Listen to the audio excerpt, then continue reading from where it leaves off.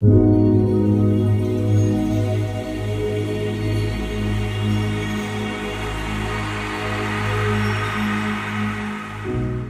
about to introduce somebody who is an absolute wizard. This person is literally, she floats. She floats on air. Um, I'm adding a pin to myself.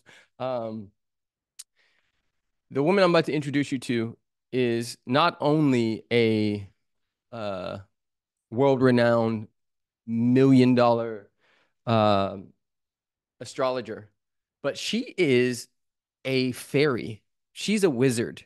She's as weird as they come and as beautiful and big and vivacious and funny and ah like the biggest permission slip for so many people again i'm i'm the person who inspires other people this is one of those people that inspires me i i, I want to be like her but my version when i grow up more right? I'm an elder, she's an elder, but her elderhood, the way she's doing it, the way she's presenting it is fucking next level. Everybody, round of applause for the myth, the legend that is Debra Silverman. Debra, we see you.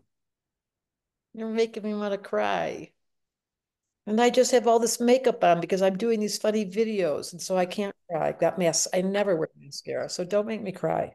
Yes, yes, yes. Debra, can you tell the people who don't know who you are on here what it is you actually do for a living? Well, you just told them I was a fairy. Now, how am I going to tell them about how do I get? okay, let's leave that part out because nobody knows that he has X-ray vision. You probably know this about Preston.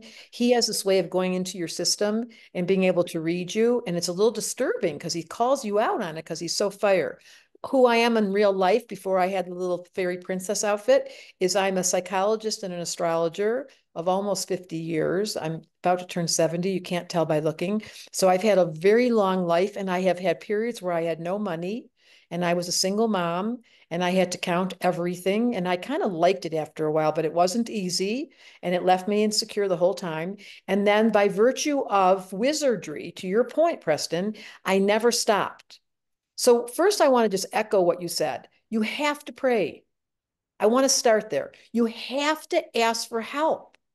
And it's embarrassing, especially when you don't have the money or you don't have the self confidence. So, rule number one write it down what he said. Tell people in your world you need help. Hang around people who are really looking alive and kicking. Did that just happen by mistake? The balloons? Um, um, hang around. Just the second thing that Preston said was, I have all the people I'm closest to now have, because I was codependent for many years of my life. I identified with being the helper because I was so needy. So it echoed my neediness was being around needy people. And that went on for so many years. And finally, I called myself out and I realized that my interdependence was more about the people who had my back than the ones that needed my help. Hmm. And the people that had my back were very different than the ones that needed my help. But I didn't know how to distinguish that. So, one piece is pray, get comfortable being vulnerable and being able to admit, like I just did, I was codependent. It took me a long time to admit to those parts. If you have a habit or an addiction, or you're caught in being lazy, or you know there's a party that's susceptible to being negative, say it out loud. I can't tell you how important it is to be real. And that's what Preston's calling forward. My mm-hmm. wizardry came over many, many years that I finally took off the mask. Huh. And I was able to admit, like I, I had at one point, you guys ready for this? Because now I am, it's true. Only Preston taught me that I was a millionaire. I didn't even realize it, but I am.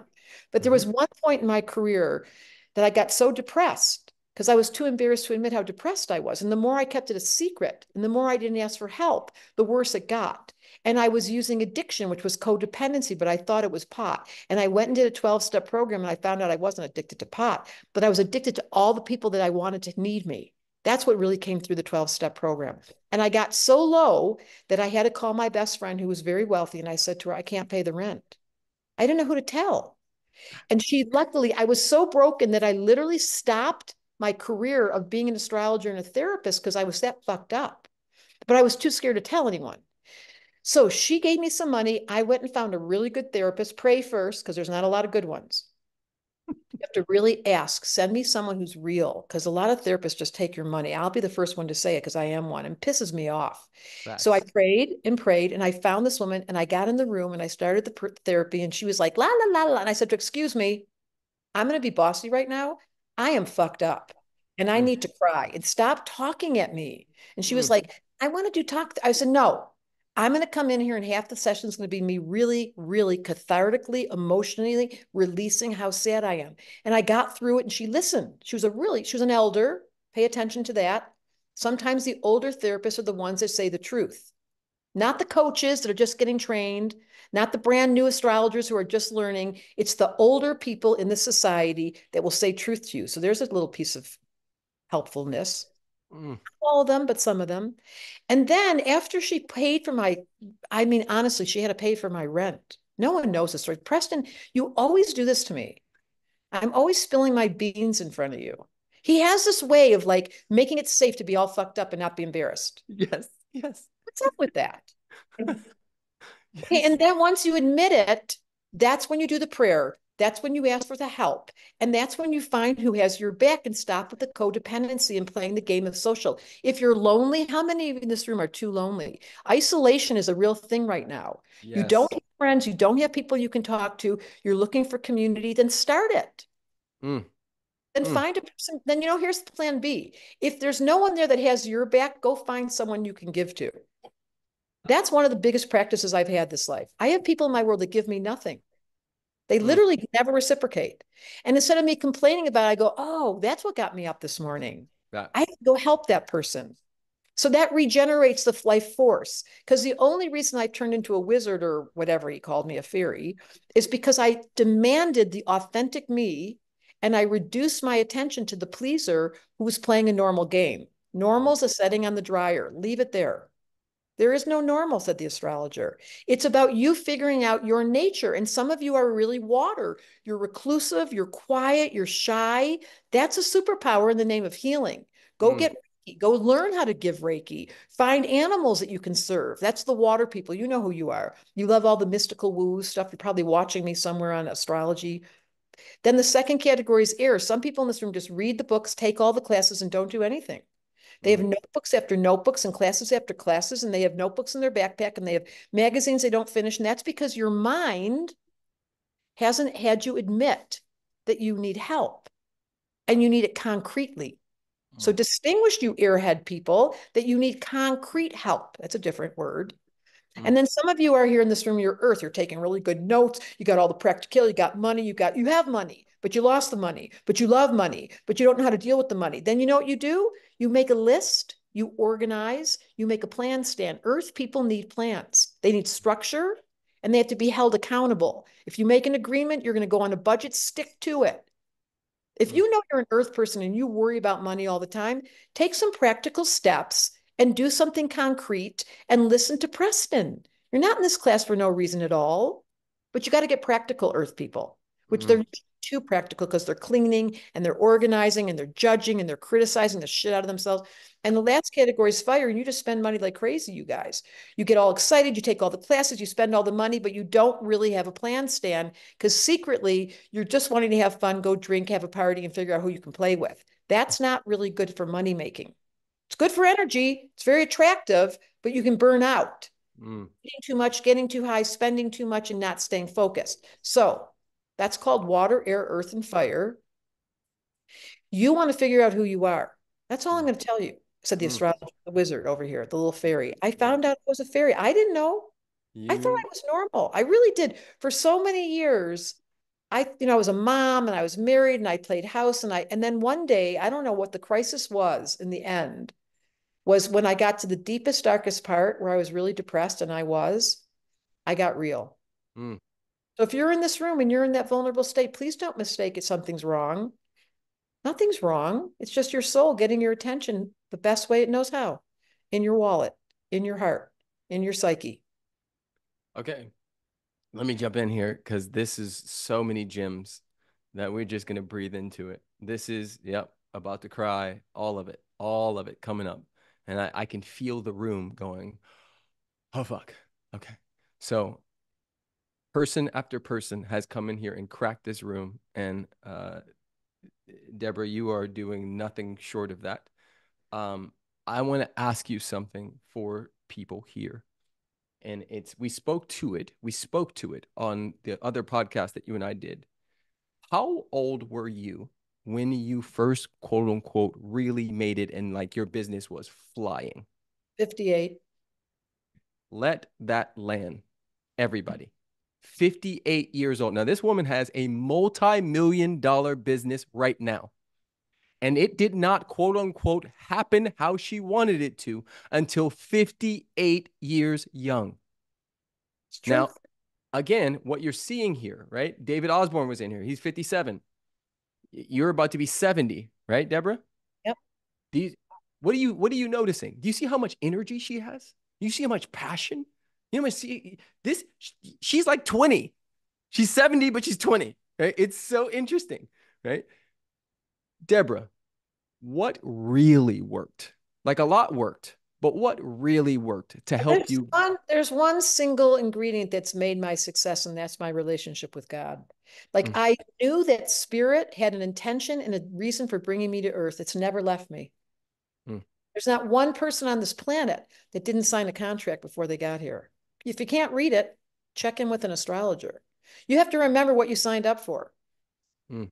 Because mm. without that clear message, which can come through words or feelings or dreams or passion, without the single focus of your commitment to serve that which created you, you're going to be confused. That, that, okay. I mean, wow. I often say the fruit doesn't belong to the tree, it belongs to the ecosystem, right? And and what you're speaking to is exactly that, which is figuring out what fruit is yours to give, what fruit is yours to grow, what fruit is yours to bear. And uh, oftentimes people just want to show and give the fruit without the darkness that it takes, the germinating, the deepness that you must go into the earth to produce the type of apples that are juicy and and and glowing and all of those things. So I want to know from you, can you, and you don't have to answer this, but you know I'm going to come for you. Um, can you talk to us about, and you did this to me on when you interviewed me. You asked me, when's the last time you cried? And I wanted to lie, and I didn't. So now I'm going to ask you, when's the last time you felt really low? And what'd you do about it? That's hard because at this point I have really sustained equanimity. So mm. if you wanted me to say really low, I have to go back there because I have really learned how to sustain my nervous system. Mm. Nothing and no one can take me out of my nervous system center. The last time I would say that really low part, which I mentioned, I have not been there, you guys. This is a practice of praying every single day. I wake up and I say, Who can I serve? Mm. That's my prayer every day. Well, that takes my ego and puts it right out of the picture, and my soul comes into the front of the room. This life is the ego was such a false advertising. I don't know who made it think that if we look cute and we made money and we got married and we had kids, we played the game, we were all going to be happy. Bullshit. What makes us happy is when the soul goes to bed at night and says, Oh, I had the best day giving. Felt so good being on Preston's talk and having people feel me. That's all. Debra, um, there's a few things that I just want to point out, and I'm going to give you the stage to just have your final words and to go off because you're that person. Uh, but I want to acknowledge you before we do. First of all, everybody, if you aren't following at Debra Silverman, find her. She's a Debra. Three words: Debra Silverman Astrology. Debra Silverman Astrology, and tag her, tag me, in any pictures and all that stuff. Um, a lot of people lack guidance, right? There's a lot of olders, but not many elders. And I just want to acknowledge you for your willingness to stand in that role so tall and and so fabulously and to allow your heart to be displayed, allow your your gorgeousness to be basked in and um you know it there it's very rare that you find it with somebody who's also quote unquote online, right? Because there's a whole generation of elders who are behind the scenes, but you don't get to see them. You don't, you don't get to experience them. And so I just want to say thank you on behalf of all of humanity for, for choosing not to be a dinosaur, for finding a way. Hear it, let it land, you know, right? You chose to say, I'm not a fucking dinosaur. Watch me. Watch me step forward. Watch me do it how the young people do. And watch me get in my power and give them an option for what it looks like. I am so grateful for you. You, you through and through, behind the scenes, you send me weird text every couple months or every couple days. I love it. It's, it's so good. We do this. We just do it, right? And we send each other stuff back and forth. And you're just a good person. And I'm so happy for everyone that they get to experience you and get to know you and get to follow you. So, final words, and then we're going to bring on the last person, which is my wife, Alexi, and then we're going to end this thing out. Right. You get to let I get to have Alexi on the other side. Yes. I'm just going to say the authenticity of your expression elicits my authenticity, and that's what you're asking for everybody in this room. And what is authenticity? astrologically, but being yourself, figuring out your own comfort level in your skin. And if you're not comfortable in your skin, that's why I can't answer your question when I went low. I have learned how to be comfortable in my skin. And my prayer for this room, for this planet, is that every soul remembers they're willing to have anything happen to bring them home. They'll go anywhere, they'll experience anything.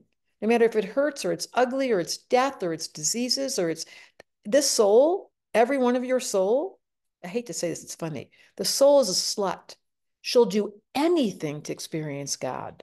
She'll go anywhere, no matter what the crisis was, no matter what the issue is, no matter what the politics are, no matter what your country's doing, what your money's doing. The soul, she's like, there's an opportunity to see if I can take it home, come back to where I started and recognize it. I'm in. So good. Thank you, Debra. You are uh, best in class. Thank you.